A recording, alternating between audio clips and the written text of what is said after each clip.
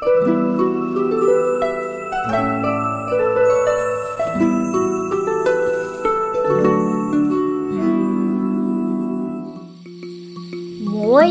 лев. Жил-был мой лев. По имени Андреевич. В домике на дереве. Любил он делать поделки, вулканы из бумаги и оригами. А еще он выступал в цирке. Однажды пошел сильный дождь, а за ним торнадо.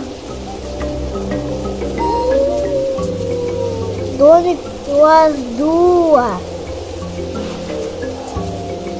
Но мой лев ни капли не расстроился. Он сделал дом покрепче, из кубиков и кирпичей. Мой лев – герой для меня. На него надо равняться.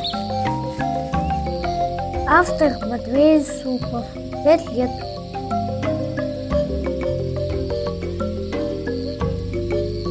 Конец мультфильма.